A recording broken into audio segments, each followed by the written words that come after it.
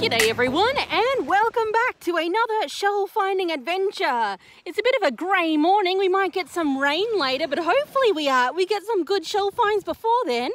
Anyway, I've been walking for about oh, five minutes, didn't think there was very much around but uh, yeah, there we go, got this guy. We are starting off with a lovely jeweled dog whelk. That didn't take long. Here we go. First moon snail of the day. Bit of a chip out of him, but I'll keep him for good luck. Got myself a lovely grey-green bladder moon snail. Oh, okay, there's a few shells over here. First of all, yes, gonna take the uh, yellow bladder moon snail. He's a nice size. Bit of an average size, but he's still nice. Do I want this guy? It's just half of a pill arc. I usually take them when they're joined, but this one's kind of nice because I like the colour on top. And before I crouched down, oh, there it is. I lost sight of it. Here we go. Got myself a little, um, oh, this one was the Linnean, like, because it's like got some linear patterns on it. The uh, Linnean sand snail or moon snail. And I'm also going to pick up this guy. Wow, he's got some incrustation. I'll have to knock that off at home. It is a lovely large blackish margarite. I have a little patch of moon snails right here. Got myself another bladder moon snail. Yet another bladder moon snail. There is a nice conical moon snail right here. Look at him with that black swirl. The conical moon snails are lovely and brown, while the uh, sordid moon snails, oh, stretch, are like a purple or a maroon or something like that, or a grey colour. He's very nice, little uh, sordid moon snail. And this guy is just staring at me. Is he whole? He is whole. Look at him. It is a Haynes turban that's turned black from shell oxidization. He's very cool as well.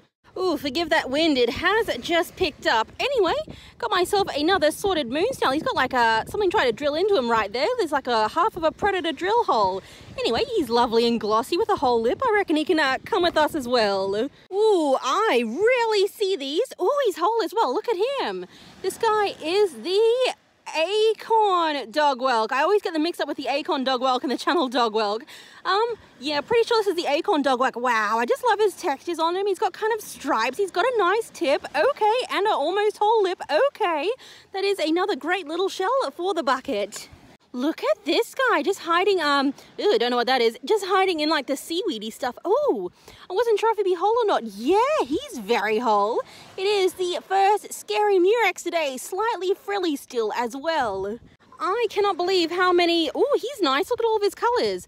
I can't believe how many sordid moon snails are over on this side of the beach. Um, this is the opposite direction of which I traveled last time I was here, so I didn't obviously pick up any of these last time. Uh, anyway, yeah, I've been slipping a lot of sordid moon snails into my bucket already. I am actually really liking all of the debris that's up here today because it's sneaking in some very interesting things into it. Um, woo, he's got colors on top. I looked at the bottom, I thought, okay, it's just gonna be a faded little baby. Ah, oh, look at the pretty colors on him, everyone. This guy is a little baler shell. These guys can grow quite large, like, I don't know, like a foot long or more. Like, they get very large. This is just a little one. They are technically a type of volute shell. That's why you sometimes see them also called the diadem volute. Oh, he looks sun bleached, but on top? I mean, he's still sun bleached on top, but they always are. Hello, good sir. This is a land snail. Yes, they're always a bit sun bleached when they're on the beach because they're supposed to be like not on the beach. They're supposed to be in the bush. They're a land snail. This one is the Biggenden banded sand snail. Oh, sorry, land snail. Uh, Biggenden is the name of a town kind of close to here, which is what they're named after. Oh, is this one going to be pretty? It's mean, it's not bad. Hold on, let me just like brush it off onto my uh, onto my shorts. There we go. Got myself a nice uh, curved half of a commercial scallop. Wow, he's got like a black line through him right there. Well, I was just starting to knock this to the side when I stopped because um, there's obviously a, a lovely uh, jeweled dog whelk right here. Wow, he actually is lovely. Got very nice, like, clear color on him. They usually discolor quite quickly from here. Also, there is a very nice sordid moon snail. I've been shoving a whole bunch of these into my bucket so far. There we go. Lovely sordid moon snail. There's actually a lot of moon snails. There we go. There's another bladder moon snail. Ooh, you know what? I might take this guy if he's not gross inside got myself a lovely, I discovered uh, since my last video that these ones are probably called an antiquated surf clam. I'm gonna take him as well and my goodness, there is a lot. Another bladder moon snail. Oh, another baler shell. Yeah, he's whole as well. He's uh, more typical uh, to what I usually see here with uh, without any colours left on him. They usually lose their patterning quite quickly on this beach, I think because of the harsh sunlight. Wow, look at him. He is like um, on the larger side for what I usually find. Here we go. It is yet another Baler shell. Holy guacamole, Batman. This one's even starting to grow his little spikes. He has turned black from shell oxidization, as you can see here. Um, some people say that you can remove the, uh, the black oxidization with bleach. I've never had any luck with it. The black just still stays there. But still, that is a very lovely shell to uh, collect today. I'm not actually sure how many of these shells I'm going to collect today. I'm kind of on the wrong side of the beach for it. Anyway, got myself a lovely little Flinders Venus right there. Okay, okay, everyone, multiple goodies. Starting off with, oh my goodness, he is as frilly as I hoped he would be. He is very frilly on that top. I think he's like, didn't grow his frills on that side yet. It is a cutie patootie little scary murex. Here, his opening didn't quite grow wholly either, so he was still like uh, in the stage of growing up. There we go. I also just saw this guy. Oh, let me squeeze forward a bit. Yes, he is a little bit like yeah, he's just a little bit small. He's a little bit uh, unhinged. It is a beautiful little lamellate Venus. Oh my good golly goodness. And you know what? I am going to look at this guy. It looks like he's got an oyster on him. Oh, he's got quite a few oysters on him. It is yet another frilly, scary murex with um a whole bunch of, oh sorry, they're not oysters, they're um bottom halves of Pacific jewel boxes. I am going to knock those off because I think you look quite nice without them. Oh, look at him. He is quite large. Yeah, and he is almost all intact. There's just like the tiniest bit off his lip. That is a nice, big, but slightly faded calf moon snail. Well, I have been mm, sneaky, sneaky collecting yet more sordid moon snails. There's quite a lot on the beach here right now. Um, I almost like did not see him because he is like locked in the sand. Are you like, oh, he's whole. Oh, oh my goodness, I might have to wash him out. He actually looks very nice. He's got like a nice dark pattern on him. Hold on. There we go. Yes. Okay. I think he's suitably nice. Once again, he has turned a bit black from shell oxidization. Wow, that water is cool today. But uh, yeah, it's, oh, that was a little bit close. It is a lovely Campbell strombus. Why not? Let's pick up this guy. Uh, he looks nice and whole anyway. It is an Australian jingle. They always grow with kind of these very funky shapes. They're not just like all round or all oval. They're kind of like, uh, yeah, just very odd. And yes, I have also been picking up a lot of bladder moon snails off camera as well. Here we go. Oh, he's actually very nice. He's got a bit of yellow right there. Ooh, I can already see this one's color on the inside. On the top, oh my goodness, he's actually quite lovely on the top. Um, these guys can have a very dark color. It is another calf moon snail. Yes, turned black from sitting in black sand right there. They usually uh, fade to a very light cream color very, very quickly. This one's still got most of its color on top. It's very nice, like a, like a dark peachy orange color. There we go. How do you look? I think it's nice. Again, very discolored and black. That they should usually be a, a definite not black color. Anyway, it is another curved half of a commercial scallop. I came over because I'm like, ooh, that one's got a perfect lip on it. I nearly missed him. Look at him. It's another Baler shell. And he's even got some nice patterns on him and a perfect lip. Okay. Yeah, little baby Baler luck. They're everywhere this morning. I mean, yes, this is the part of the beach that I didn't check last time. It's certainly paying off for me. Anyway, let's check out the uh, bladder moons now. There we go. Got myself another lovely grey-green, blue-eyed bladder moon snail. You know, I have started to like these a little bit more. Um, I don't know why I didn't really like them to begin with. Anyway, it is a cockle shell with little spines on the uh, on the back of it. It is a multi-spined cockle. And uh, what do we have here? We've got ourselves, yeah, looks like a leafy oyster. It's been a while since I found a leafy oyster from here. Last time I was here, I found a bunch of uh, scaly scallops on the other side of the beach, but I'm struggling to find any today. Here we go. The first scaly scallop is this guy. Well, I popped down because I'm like, oh, look, it's one of these things, which I never remember the name of. It's just a very large Venus shell. And then I noticed this one as well. Yeah, well, he's no good. Actually, the one I really, really noticed was this guy just hiding up there. My goodness, look at the patterns on him. Yes, I'm definitely going to knock off that uh, piece of a Pacific jewel box when I get home because look, he's got lovely uh, dark maroon patterns. They actually look like zigzags.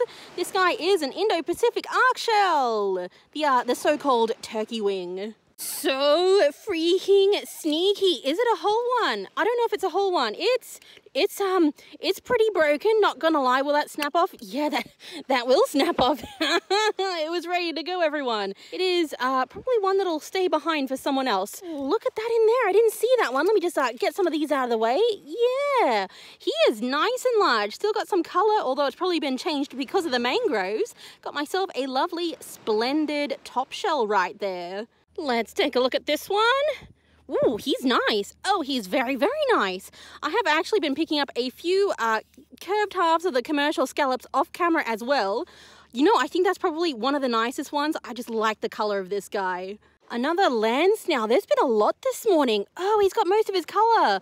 I mean, not he's got like nowhere near most of his color, but more than usual, although that could be because he's wet. A wet shell usually looks more vibrant than the dry one. It is yet another Biggenden banded sand, or oh, land snail. I don't know why I keep doing that. I am doing well for the Murexes as well. Look at this guy. It is yet another lovely, scary Murex. Also, if I'm like extra jittery today, it's because I had like an extra large coffee for breakfast. Oh, I think this one will have a nice reveal. Oh, it is nice. Ooh, yes, more purple, more red, more white. Okay, we'll take him as well. Oh, finally, one of these to go with all the commercial scallop halves. I mean, yeah, he looks all right. I don't think he looks like too faded. Okay, maybe a bit faded. It is the flat half of a commercial scallop. They have a flat half and a curved half. So finally, after like, I don't know, like 10 curved halves, we have we have a flat. And also I did pick up another flat off camera, but it's like, it's like, mmm. Oh my goodness, I'm just having like a whole heap of Murex luck today. There we go. That must be like the third or fourth very nice scary Murex. Oh my goodness. Oh, I can already tell there is a lot of land snails in this episode. Look at him. I mean, yes, once again, a little bit faded, but once again, they always are from here. I absolutely love these guys. Um, when they're not faded, those are reddish bits are like a darker brown and those white bits are like a deeper cream color. Anyway, yeah, another absolutely lovely Biggenden snail. It's right in the tree roots. Can you see it back there? Please, nothing kill me. Oh, this one. Yeah? Ooh, I think that was off camera. Oh well, um, anyway, I have for myself a joined, I mean, oh, it's still joined, a joined Indo-Pacific arc shell. I think he needs a bit of a clean out in the center there because I don't know if that's like sand or something else. Anyway, that is very cool. I think it'll clean up very nicely. Oh, I think I'm going to pick this one up. Even though he looks kind of rough, it looks like he's a bit kind of funny on that last section right there. It is a Haynes turban shell, and the reason he's so funny right there is because some kind of oyster obviously grew in his shell. So when the snail got to that point, he had to kind of like, I don't know, get creative with how to grow his shell around it. Here we go, got myself a little half cockle shell, sometimes also called a half heart cockle. Oh, Baler Day! Is he whole on the bottom? Oh, he's got a big crack in the side. Let's take a look. Ooh, he's whole, everyone. I mean, okay, as whole as he can be with like, you know, pittings with age right there, spiderweb cracks and whatnot. He's got some nice spikes though. It is a pretty decently sized uh, Baler shell. I mean, yes, he is in pretty poor condition, but I'm going to take him anyway because I do not find very many big ones, or at least as big as this. That is a very, very nice size. Obviously, they can still get like multiple times larger uh, as an adult, but yeah, that is very, very nice. Oh my goodness. Oh, look at him hiding under there. That is a big one, everyone. Whoa, he is big and whole. Oh my goodness, that's not going into the chaos bucket. Oh, he's got a little crack right there. Never mind. I still like him though. My goodness. It is a moon snail. I think it is the uh, black-mouthed moon snail. I don't know if that's right or not. That is a very nice large one too. Well, I nearly wasn't going to look under the tree. Oh, wow, I was not expecting that to not have a hole right there. Um, mostly because I keep hitting my head on the branches. My uh, big broad brim hat makes it hard to see what's in front of me sometimes or above me. Anyway, just got myself a lovely long-tailed spindle from under here. How about that? Oh, we can't have a shelling adventure in Hervey Bay without grabbing one of these. Here we go. It is a lovely propeller arc shell. He is like extremely wide. I dare say that he has been up here for a while, just like sun bleaching in the in, on the sand. Okay, that is a decently large cowrie for here. Yep, this one is very faded. You can't really find good cowries on the beaches around here. Um, but this is a species that's really only on the mud flats. Most of the other cowries live in the uh, the rock pools or the reefs. This one is the green tinted cowrie. Yes, he has been up here for several weeks as well, I'd guess. Well, hello, hello, would you look at that? Um, yes, that, oh, his joint came apart right away. I, he's going to need a bit of cleanup on this guy. He's got some, uh, some oyster bits on him. I don't think any of them are live, though. I even saw a barnacle on him, but I think the barnacle was also not alive. Here, it's an empty barnacle. Got myself two paired halves of a of an Indo-Pacific arc shell right there. I was about to say turkey wing. Oh, lucky, lucky, lucky. Oh, is he missing the tip? He is sort of missing the tip. Oh no, it is a little dark dog whelk though. He's very cute. One of these shells was the favorite last time I was at Hervey Bay. Ooh, let's take a look at the Haynes turban. Oh, he's okay. Actually, yeah, I think he's more than okay. He's a very dark color. Um, these little like uh, white incrustations knock off pretty easily. I think he's going to look very nice under that. All right, we'll take him. And you know what? I'm going to take this guy as well because I haven't found very many of them today. Or at least not very many with uh, patterns still on them. It is another Campbell's Strombus. Oh, look at this, sir. Hello. Yeah, it's empty. My goodness, this is a mangrove whelk. I mean, so, I'm sorry, it's a giant mangrove whelk. I was expecting to find them like all the way up there where the mangroves are. I was not expecting to see it all the way back here already. Okay, we'll uh, take this one as well. Oh my goodness, that is a lot more than I was expecting. So here are the shell finds for today, and if you've enjoyed them, please hit that like button for me and subscribe if you want to see more shelling adventures. If I sound excited, it's because I am. Look at all the lovely seashells today. And of course, it is time to talk about a favorite now. So if you do have a favorite shell, please let me know down in the comments. I found so many amazing shells today. I didn't even reach the mangroves yet. I got a whole bunch of commercial scallops, some extremely lovely turkey wings. My goodness, I got two joined pairs right there. Very nice. I got a lot of Baler shells, my goodness. A couple of moon snails as well, a couple of land snails, some jingles, some murexes. Oh my goodness, it was a bit of everything. Um, but you know what? I do want to give some special mentions, and the first and biggest special mention goes to this big, mostly intact Baler shell. I'm feeling super inspired to get the paint pens out on this guy. Don't know what I'm going to do, so uh, if you got some inspiration about what I should draw on this guy to turn it into a work of art instead of just a broken shell, please let me know once again in the comments. I also want to give a special mention to the lovely Murexes. I don't think any of them are my favorites today, but they are all absolutely stunning. You know what? I might give one more special mention to the big white sand snail. He would have been a favorite if not for that teeny hole there. He might still be a favorite because, wow, I really, really like this guy.